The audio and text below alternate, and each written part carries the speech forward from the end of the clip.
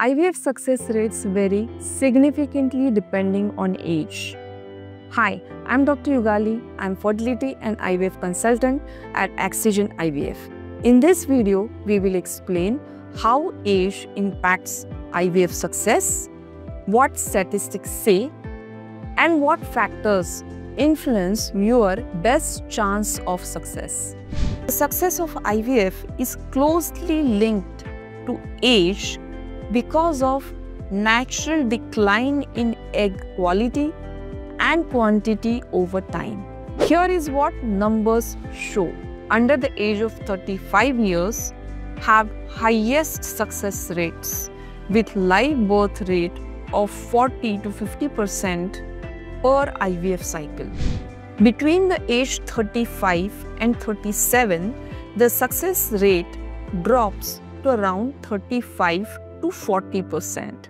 After the age of 40, the success rate for live birth rate per cycle drops significantly and it's about 10 to 15% per IVF cycle.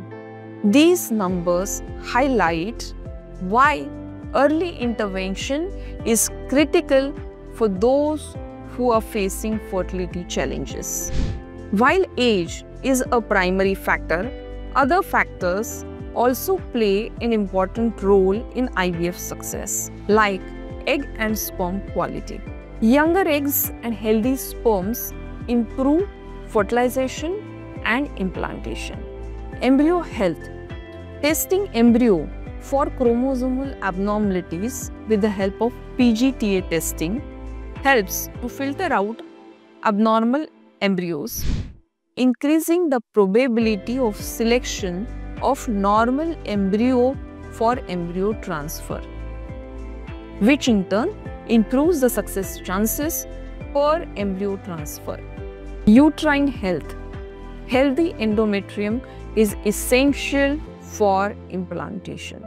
The success of IVF also depends on the technology and expertise of IVF and fertility unit.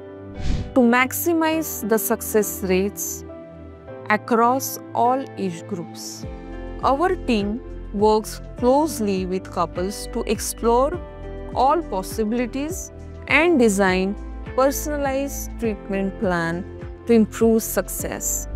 IVF success is possible at any age with right approach and expertise. At Aksigen IVF, we provide personalized care to give the best chance of success.